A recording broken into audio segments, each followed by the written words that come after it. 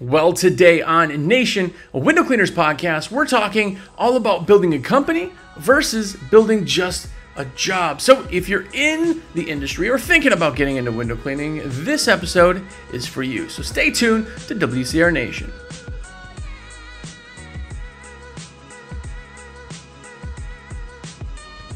What's up, everybody? Jersey here from windowcleaner.com, and you are here.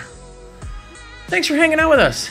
Uh, like I said, today we're talking all about building a company versus building just a job. And there is a big, big difference. Now, I have to say, if you're in business, you have to step back and look at what it is you're actually doing. Are you building a company or are you building just a good job? Now, neither of them are wrong. I'm just some dummy who sits here in front of a screen.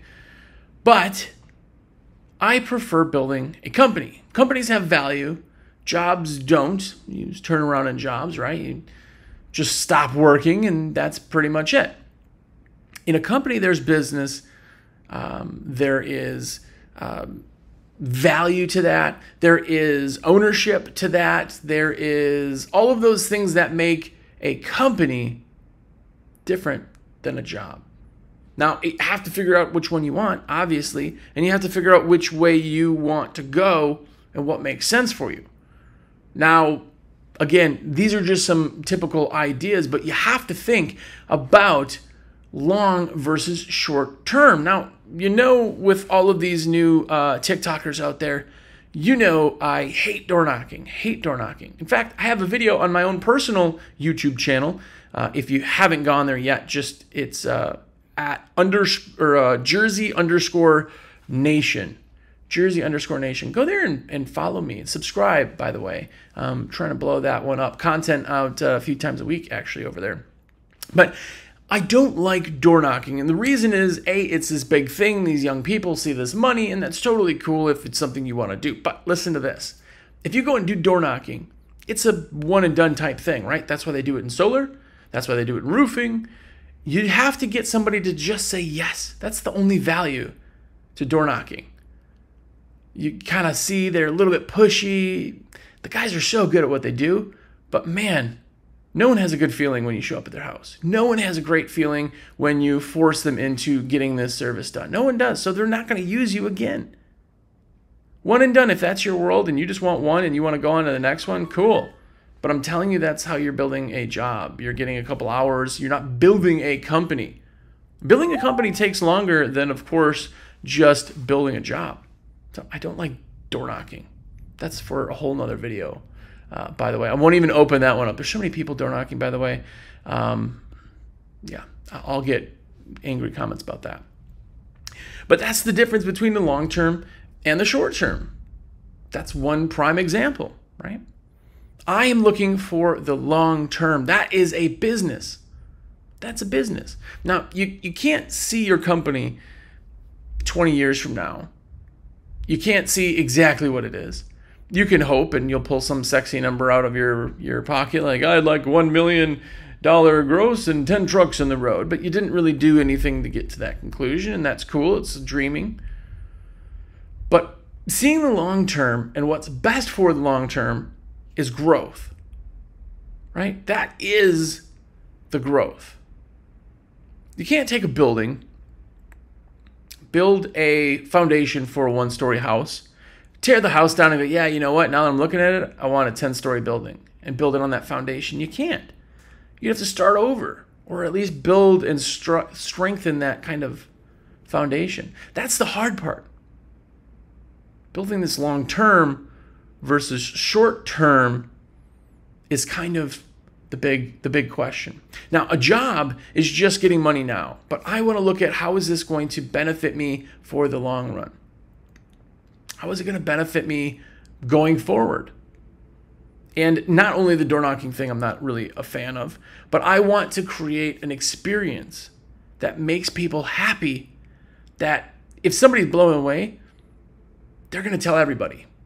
Now I have them selling for me long term. If I do them for the next six months, every six months for the next 10 years, how many people are going to tell? How many people are they going to run into that maybe want my service? That is a long term goal. So I'm more focused on that than just getting people in. Now, don't get me wrong, especially if you're new in business. By the way, if you're watching on YouTube, go ahead and tell me how long you've been in business. Uh, just put the number of years, and then everybody reading the comments will be totally confused. Um, but if you're new, it's really hard. You go, okay, well, I need to get from zero dollars to some money really, really fast. And if you like that and you want to do that door knocking, it will get you in some money, and that money can then be used to invest and blah, blah, blah, blah, blah. But it's just not a great lead. It's not a good way that you're putting your company out there either, in my opinion. Again, I'm just some dummy, do your thing. But if I go to somebody's house, I make them feel like crap, I leave and they said yes, they're to think about me and look, I mean, I can't believe this XYZ window cleaning company pushed me into this, man. Gosh, you're so proud. Nobody's like, you know what? I'm really glad that you pushed me into this. I want them to have an amazing feeling. But it it's harder work. It takes more, more push, more all of that. But what are you focused on? The long term or the short term? Now, the long term, by the way, is still going to make you money now.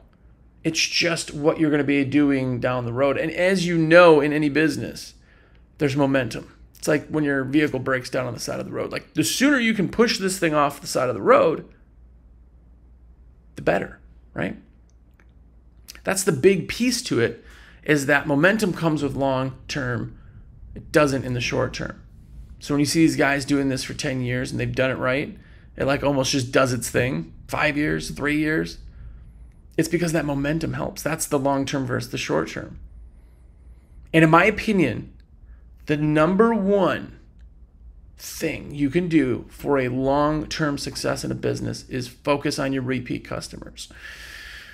When you start in business and you have zero customers, getting one customer is the only option. Put in a lot of work to get customer number one. When you have customer number one, you do the service, you make the money, you go, wow, that was awesome. Let's find customer number two.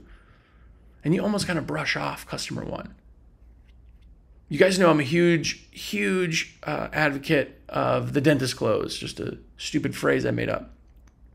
The dentist close is just this. When you're done, I'm going to clean your windows. And if you've been in business, you know this is how it works. But when I'm done, I walk around with you. Say, hey, everything looked good. They go walk around go, oh my gosh, this is so amazing. It looks so good. Oh my gosh, I can't believe it. This is like so much light. It's never looked so good. They are never happier than at that exact moment it's completed. So why not say, hey, yes, absolutely, this is awesome. Um, so great. So your next schedule, we have you down. Do you want to do three months or would you like to wait six months?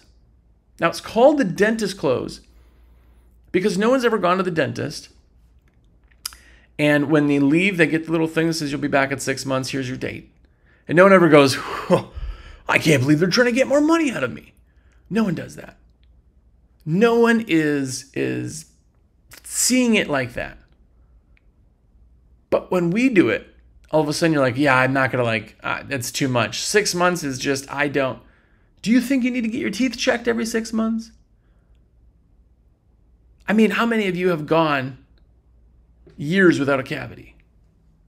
If the dentist didn't do what they did in your checkups, you'd still go years without a cavity. But yet you still go every six months. People go, oh man, yeah, but I love the feeling of, you know, when they clean my teeth, like it feels great. Okay. So that awesome feeling is what they get by getting the windows cleaned. That's why I call it the dentist close. It's just because to get over the mind, the mind block of getting a repeat customer to do something more often, that is the number one thing. And it's not the customer's mindset, it's your mindset. It is absolutely not the customer who is going to balk at that. Because here's the thing if you say, hey, did you want it every three months? Uh, or three months from now, which will put you into uh, June? Or did you want to do uh, six months, which will put you into September? A, I didn't ask a yes or no. If you say, would you like to reschedule? They go, no, no, I'll let you know. That's a defense thing. I gave you an option.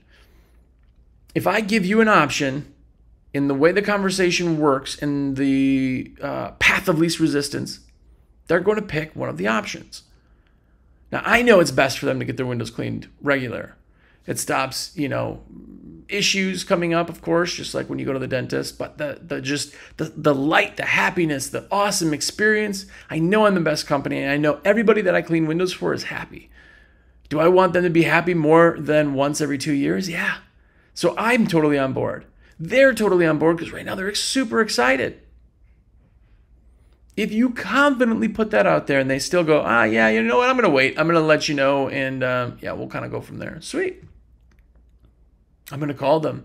I'm going to actually call them tomorrow and say, hey, how'd everything go? Everything looked good? You had a chance to see it in the sunrise, the sunset? How did it all Oh, they look great. Oh, man, it was so good. Oh, perfect. Cool. Well, I didn't have you down for your next appointment, and I just wanted to check back in with you if you had thought about it yet, if you wanted to do the three month or six month. If they still don't do something, you're going to just call them, you know, in a month or two, or you put them on your spring blast or your fall blast. But you're going to get everything you can to get them in and repeat. I know it's the best thing for them. I know it makes them happy. I know without a doubt I'm the best company. You have to get over the mindset that they can have it done more often. And that's why I think about the dentist. That is not anything except for your confidence or your guy's confidence. Is just understand when you go to the dentist, no one questions that. They understand that that's the best thing. You can explain to me right now why you go to the dentist every six months. And if you don't, you should probably start going to the dentist. no one says to the dentist, well, maybe some weird people probably do, but they were like, hey, uh, yeah, okay, so uh, six months from now gets into September. How's the. Uh... And you're like, no, no, no, I don't want another dentist appointment. I'll call you. They'd be like, oh, okay. People usually don't go out of that, right? Here's the thing if I get one customer and only do them one time, I have a job. That job was done, done. Hopefully, they call me again. But if I have a customer and they're on a repeat schedule, one customer means I have a job every six months from now until I upset them, they die or they move. Now, think about that in the terms of five customers, 10 customers, 100 customers. If I have 100 customers and they're all on board and I'm confident and I get them in every six months. Now, if they do three months, it's even more. But we'll say six months. If I can get 100 customers in every six months, that's 200 jobs a year I have without doing any other selling, without spending another dime on advertising, without having to convince somebody else to trust me.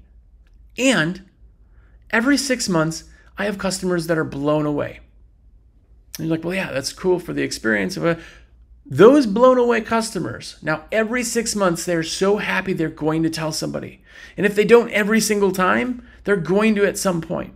I have 200 customers or 200 jobs every single year for 10 years, we'll say. By having 100 customers, I have 2,000 jobs in the next 10 years. Think about that, but then think about that in growth. That is the difference between a job and a company. If I can build that, if I can build that side up, I'm going to have a strong company. The other thing is when I wake up, January 1st, I already got work on the books. I got a great batch of work on the books. I may already have June sold and booked in January. Now I know all my planning. I know that I'm going to need a new crew by XYZ if that's the way I'm going. I'm going to know June is my busiest because that's where all my customers are. That's where my my my hardest push for advertising is. There's so much in the industry. I'll, I'll call it a flaw. A flaw in a seasonal industry is we just don't know. We, we don't know where our work's coming from right? So we work so much harder to go get all these new people because we just assume that more customers means more business instead of seeing more frequency creates stronger companies. That's the difference between a job and a company. And by the way, if you're liking this podcast, I didn't do the intro in the beginning. I'm moving it to the middle, but I am a rep for windowcleaner.com. It is what I do. That's why I put out content. I want to help people. I genuinely want to help people with their business, but I also love putting orders in. Right, that's how I make my money. So if you're getting anything out of any of these videos, please let me be your rep My number is 862 312 2026. I'm literally the only Jersey you are uh, that you know. Save it in your phone, text me, call me, just save your cart. And if I put it in, it costs you nothing extra and I get credit for it. That's a high five. And there's new stickers. And I don't have one sitting in front of me. But let me know and you will get a limited edition Cool Kid sticker, which, by the way, uh, is only available for people who buy from me. So use me. And uh, subscribe to me, by the way. Uh, if you're on YouTube or looking at, you have a YouTube. My personal YouTube channel is Jersey underscore Nation. These podcasts are on there. This is in on WCR, but on that there's everything from shorts to content to just tons of video, all in window cleaning. Hopefully, all pretty awesome too. So go, please do subscribe. That'd be absolutely amazing. So the next thing that we kind of talk about here in building a company versus building a job is time happens. This one is is odd because you un- you know time happens, but you don't see it until 10 years down the road and you're like, "Whoa, I've been doing this 10 years. How did I do this for 10 years?" Like time happens regardless of what you do. And if you're building a job versus a company, the thing is a job you show up to, you do your work, you go home. A company you have to do everything to build the company, to make it secure, to make it a thing, to make it valuable. And time goes regardless of what you do with your day. In fact, you could just sit here and stare at the wall for the next 60 seconds, or you could go skydiving in the next 60 seconds. Jump out of a plane takes 60 seconds. Staring at a wall takes 60 seconds. Going to the bathroom could take 60 seconds. What you do with your time is what matters because it's all that is going to happen. You have a finite amount of time.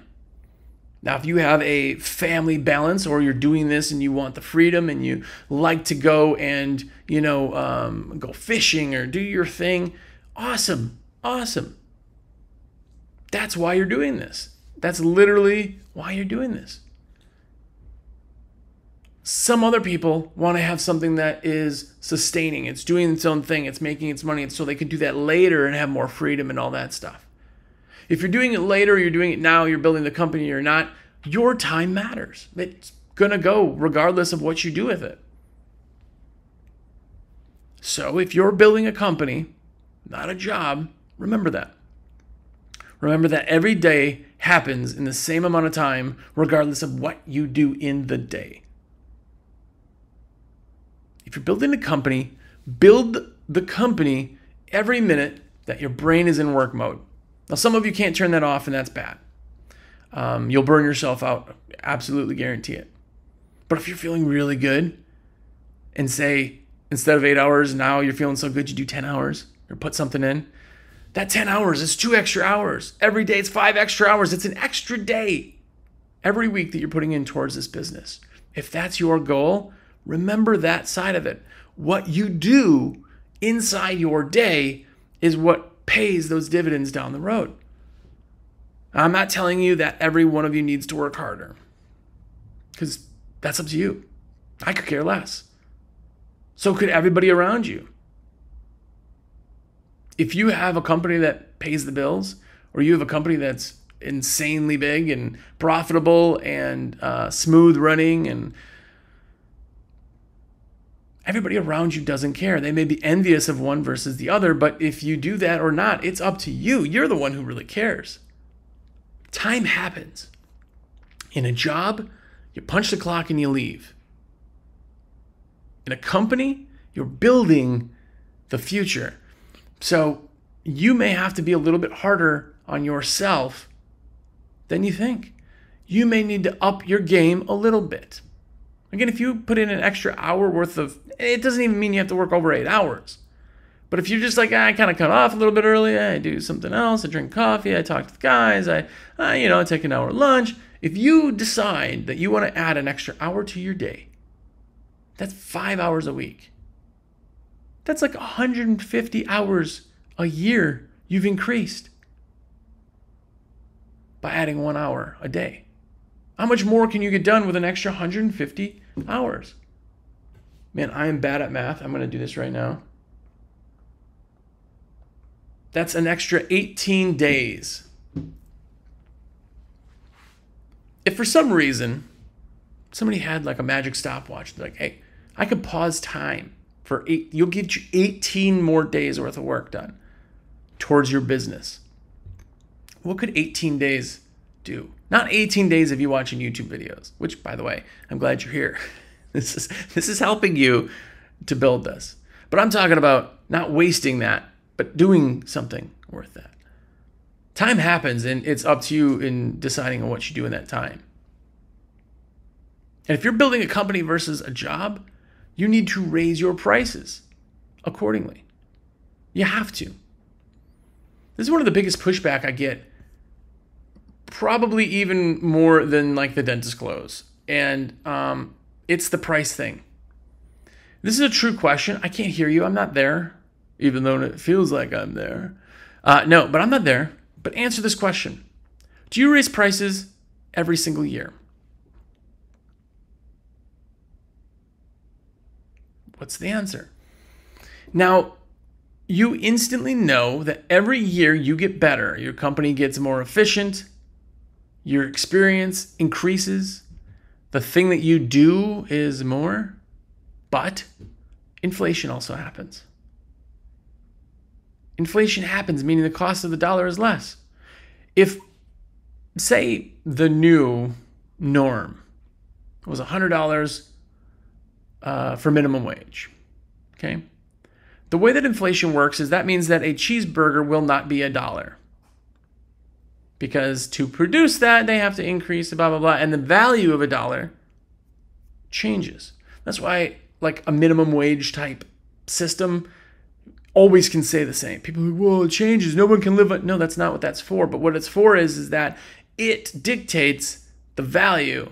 And if you inflate the value of money that artificially inflates your your economy basically but with that being said, is that if say last year there was a, you know, or or this year, we'll say, say there's a five percent, five percent inflation, meaning that this year or next year, 2024, the value of a dollar is five percent less than it is this year. Meaning milk's more expensive, right? So that dollar buys you less milk. That dollar buys you less gas. The cost of that money goes down. Right? This is why gas was 50 cents back in the day. Not because anything was cheaper to produce, it's because 50 cents was actually worth a lot more. That's inflation. Now, if that happens and you didn't raise your prices, this year, 2024, you'll be doing all of your jobs for less than you did in 2023. Yeah, but I'm faster. Okay, cool, but you're still doing that job for less. No one is paying you for the time it takes you to do it. Because if it took you 10 times longer or every house took you one day, they're not paying you more. They're paying you for the service. Increasing the prices keeps you up to inflation. I know people who haven't raised prices in 10 years. 10 years. Where were prices 10 years ago? I'm like, oh, well, you know, I've done them for. You lose money every year you make less money. No, my numbers go up. No, you make less money on every job. 10 years ago, you made more money on every job. Doesn't matter how long it took you. That's a job versus a company. A job, you'll go 12 months before you get a raise, if you get a raise. In a company, it's the value of everything. Everything rises. People are paying you, your company, for your expertise your experience, your quality, you, the, the, the thing. If I start a computer company right now, it's a great computer. It's gonna be really hard for me to charge what Apple does for a thing because you just don't trust it yet. I'm not proven. In a company, it is. They learn a lot of things by doing this for a long time raise your prices and don't be scared of doing that because that is how you invest in your company versus a job. That's how you, you grow the strength of that company. And the last part of this thing versus uh, company versus job is to be everywhere. Now, what do I mean by be everywhere? I mean that in a company, you want to be seen as the company. You want to be so many places and in so many people's heads and creating so many experiences. And if you're doing the dentist close, they're all speaking your praises. You want to be everywhere because the new person isn't going to really know who you are. No matter how big or how awesome you are, you will not be a McDonald's. No one, not every person in your town will know who you are because it just doesn't matter. In fact, I would say monthly you'll get somebody who goes, I didn't even know window cleaning was a thing. Of course.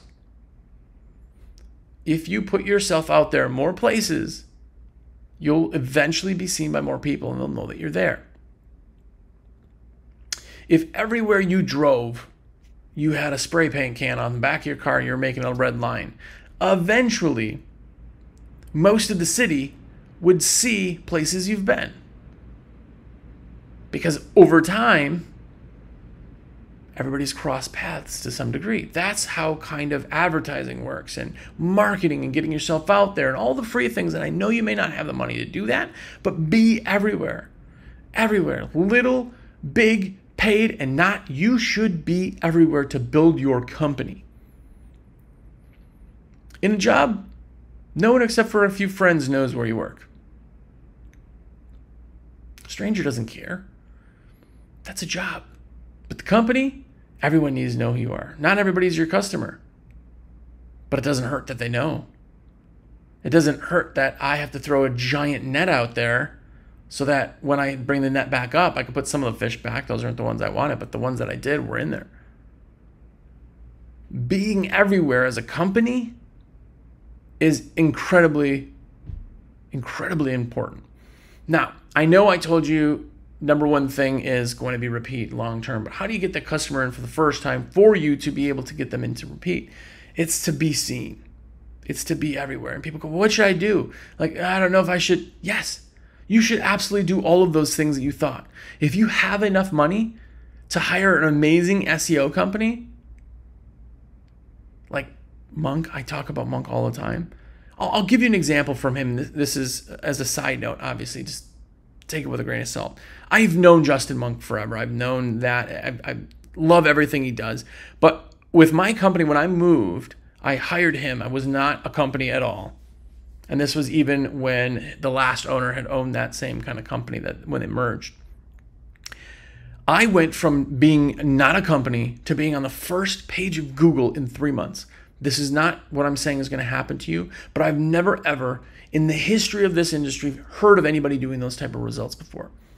Maybe you have. That's why I love Justin Monk. He's proven himself as an SEO company. As a side note, it's expensive. But if you can do that and you could be the first person out there, first person on Google, first person on places, first person with the reviews, if you could be all those places, which takes a lot of work and a lot of time, if you could do that, you dominate everything. Then you're so many people are seeing you you're taking so much of the work and the market share, it creates this company. And if 50% of your entire city is using you and you get them all in on the dentist close, think about those numbers. Now, obviously, it all takes time, I understand, but that's SEO. It's expensive, but it's absolutely amazing. What about a vehicle wrap? Way less expensive, super, super great to be seen. What about Craigslist ads? Free. Not lots of people are going to see them, but it's a thing. What if you know people uh, that have a sports team? You throw them a couple hundred bucks for a sponsorship, they wear your shirt. You're helping. Nobody's really doing, but you're getting more people out there. Now all of a sudden you see doing these little things over 10 years, five years, three years, one year. More people see you, you become everywhere, you become the company. Remember, your mindset should always be on building a business versus building a job. There you go. I'm off my high horse for now, but shameless plug number two. You know I'm a rep for windowcleaner.com. And I would genuinely appreciate and love if you let me put your orders in. That's what I do. It is not a bother because I get credit for that. That's how I make my living is putting orders in. And I genuinely, truly appreciate that you guys let me do that. And I do really want to help you with your business. So if you have any other questions or want to put an order in, 862 312 2026 is my number. Please let me know. I want to be your dude. I want to be your guy. Put me in your back pocket. Use me for everything. Send me pictures of any projects you have questions on. Let's do it. Let's build your company and make it amazing. If you haven't yet, go check out awcmag.com. That's the American Window Cleaner magazine. It is the premier and only window cleaning magazine that is real paper with the stickers that you get. Yes, that's what you see everybody covering their buckets and everything on. You're nerding out, you're in the industry, this is your life. Get into it. Go to awcmag.com, get the magazine, get the subscription. Stop procrastinating the subscription. Go get it. Um, and uh, yeah, like I said, go to uh, YouTube, search out my YouTube channel. It's Jersey underscore Nation and subscribe because it would be amazing. If all of you subscribed, I would have a few thousand more followers. And the channel's relatively new for this, so I have no followers really.